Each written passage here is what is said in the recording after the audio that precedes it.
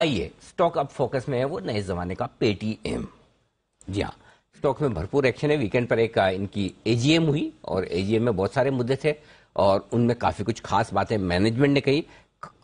अच्छे बाज़ार में गिरता है, खराब बाज़ार में मज़बूत रहता है। ऐसा कोई ट्रेंड नहीं है। लेकिन आज मजबूती की वजह यही है कि इनकी एजीएम में काफ़ी कुछ अच्छा कहा है विजय शेखर शर्मा साहब ने और साथ ही उनका जो कॉन्ट्रैक्ट है वो भी रिन्यू हो गया एमडी के तौर पर सीईओ के तौर पर फिर से वो पदासीन हो गए।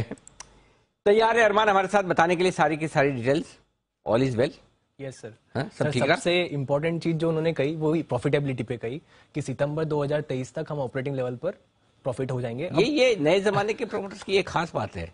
जो मार्केट सुनना चाहता है वो बोल ज़रूर बोल देते हैं। हाँ। यस आएँगे कभी भी लेकिन बोल देते हैं कि हम आएँगे बस। हाँ, बस ये सुनना चाहता है। बता है देते ना? स्मार्ट है ना स्मार्ट जोमेटो में भी जोमेटो में हाँ हम आ जाएँगे आ जाएँगे आ जाएँगे।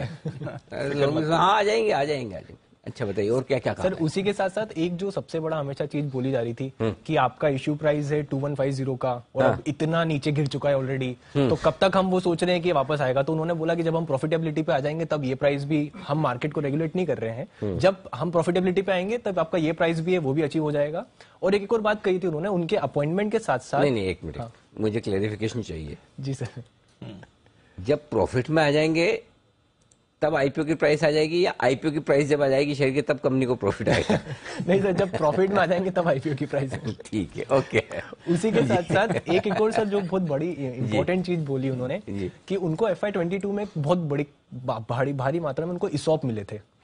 अब वो इसॉप के लोग बोल रहे थे कि यार इतने सारे इसॉप आपने ले लिए। तो उन्होंने एक बहुत बड़ा स्टेटमेंट दिया जो जनरली शायद मार्केट को अच्छा लगा कि जब तक आईपीओ प्राइस तक आईपीओ प्राइस तक मार्केट प्राइस नहीं आ जाता या आईपीओ का मार्केट कैप नहीं आ जाता तब तक मेरे इसॉप एक्सरसाइज नहीं होंगे। नहीं नहीं ऐसा नहीं बोला होगा। सर ये ये सर यही चीज़ बोली उन्होंने कि ऐसा बोला होगा कि मैं भी आईपीओ की प्राइस पे हिसाब और ले लेता हूँ। ऐसा आइडिया किसी ने दिया नहीं है। इसलिए हमें एजीएम में बुलाते दिया हमारे पास आइडिया बहुत खतरनाक है। इतना कॉन्फिडेंस है तो दिलाओ और आईपीओ प्राइस पे इसॉप दिलाओ उनको बोलो लो आप भी इतना कॉन्फिडेंस है तो। चलो कोई बात नहीं ये कहा कि आईपीओ प्राइस के नीचे नहीं बेचेंगे। हाँ सर मतलब उन्होंने कहा कि मैं मेरे सॉप्स जो है मैं एक्सरसाइज नहीं करूँगा जब तक वो आईपीओ प्राइस तक तभी एक्सरसाइजेबल होंगे। उसी के साथ साथ एक जो हमेशा क्वेश्चन ये होता है कि वो हो सकता है कि इंटरनेशनल मार्केट में वो कुछ निवेश करें या फिर नहीं करेंगे तो उस पर भी उन्होंने क्लैरिफिकेशन दे दिया कि अंतर्राष्ट्रीय स्तर पर हमारा विस्तार या अधिकरण करने की कोई योजना नहीं है। तो बेसिकली तीन चार चीज़ें एक तो उनका रीअपॉइंटमेंट और उनका इसॉप का क्लैरिफिकेशन उसके साथ उन्होंने प्रॉफिटेबिलिटी ऑपरेटिंग लेवल पर आप कितने टाइम पर प्रॉफिटेबल होने वाले हैं?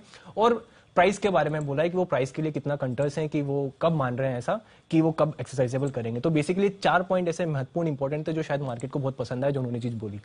ओके तो ये है आपके लिए राय पूरी की तो पूरी शाम से।